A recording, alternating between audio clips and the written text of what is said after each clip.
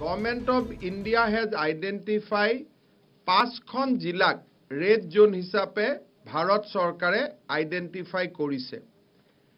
সাতখন ডিষ্ট্ৰিক্টক non hotspot district বুলি ডিক্লেয়াৰ কৰিছে।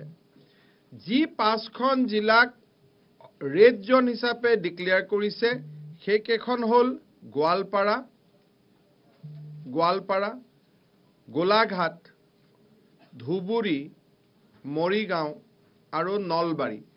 এই পাঁচখন জিলাক ভাৰত চৰকাৰে বেছড অন এক্সিষ্টিং ষ্টেটিষ্টিক্স পাঁচখন জিলাক ৰেড জোন হিচাপে ঘোষণা কৰিছে।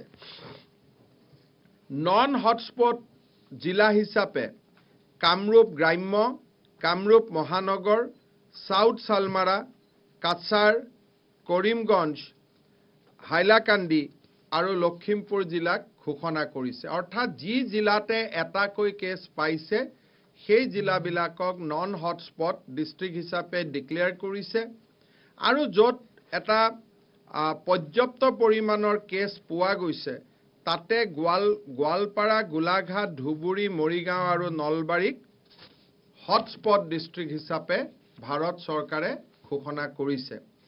আৰু এই জিলাবিলাকত যি ধৰণে হটস্পট আৰু নন হটস্পট জিলাৰ যি কণ্টেইনমেণ্ট প্লেন আহিব লাগে we are following those containment plan অৰ্থাৎ মানুহক আবদ্ধ কৰি ৰখাৰ যিটো প্লেন ভাৰত চৰকাৰে আমাক দিছিলে সেই প্লেন আজিৰ দিনত আমি এক্সিকিউট কৰি আছোঁ।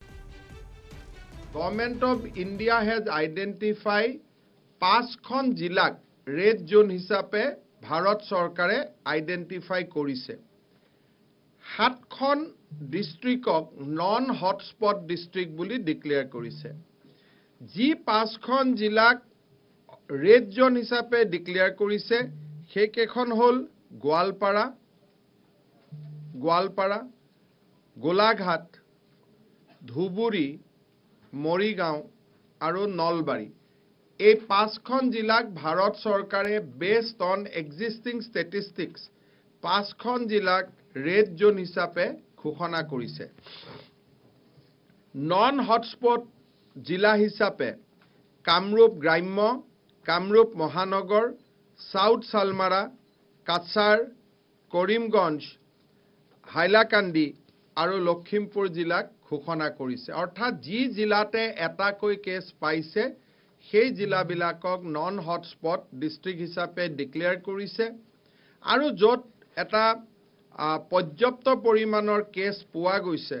তাতে গোৱাল গোৱালপাৰা গোলাঘাট ধুবুৰী মৰিগাঁও আৰু নলবাৰীক হটস্পট ডিষ্ট্ৰিক্ট হিচাপে ভাৰত চৰকাৰে ঘোষণা কৰিছে।